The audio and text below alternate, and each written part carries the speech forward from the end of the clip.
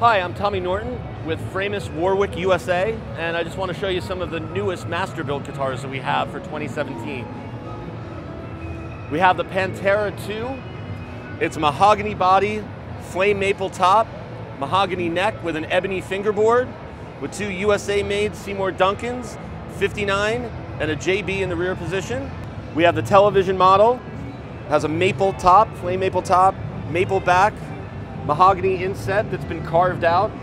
It's fully hollow. It has an ebony fingerboard with a mahogany neck. P90 pickups for that bitchin' sound.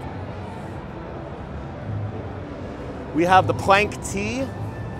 It's an alder body that's been sandblasted and stained. Maple fingerboard, maple neck. It's 25 and a half scale, and it rocks. New for 2017, we have the D series instruments.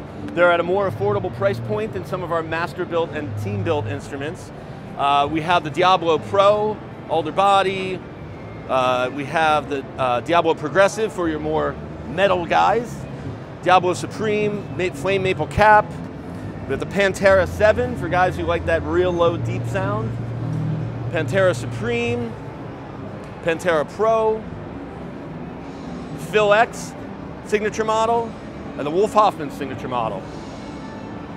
Also new for this year, which we're all really excited about, we have Rockboard flat patch cables. As you can see on the pedal board, they lay flat next to each other, so instead of having a big hunky uh, connections that you normally do with patch cables, these are extremely thin and extremely short, so if you have three pedals side by side next to each other on your board, use these flat patch cables and you can actually add a fourth pedal in the same amount of space. Uh, we have them in various different lengths and they also come in the flex cable, which is very cool because it'll bend in any direction you want without breaking or slipping so you can get on all those weird angles that you have with different pedal manufacturers.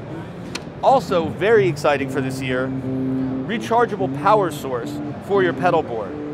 This is the LTXL power from Rockboard. It will power up to 10 pedals.